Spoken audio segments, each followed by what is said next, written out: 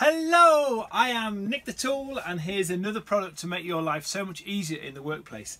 This is a tool which is going to complement your tap and die set and the product part number is a TDR set. So let's have a little look at why it's so fantastic. So if you're already using taps and you're already using dies then this tool will complement what you've already got. So we have a small and a large tap driver. So the way these work, they're all made of steel, there's no plastic in there at all. Fully adjustable on this end, so you can put your tap into the end.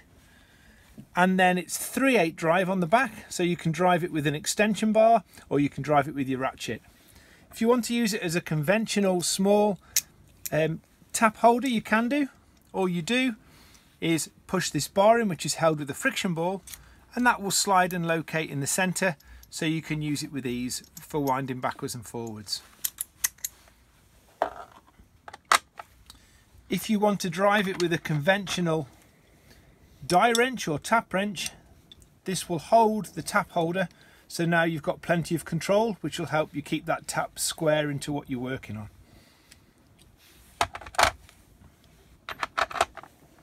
If you're using a die, just drop this into the bottom of the holder this will work with all the dies that have the same dimensions and it will work on the snap-on and the blue point dies.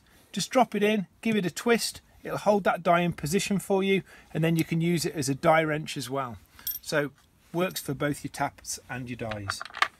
The first thing that you normally get lost out of your tap and die set are your thread gauges. So these are going to give you all the pitches for fractional and also for metric.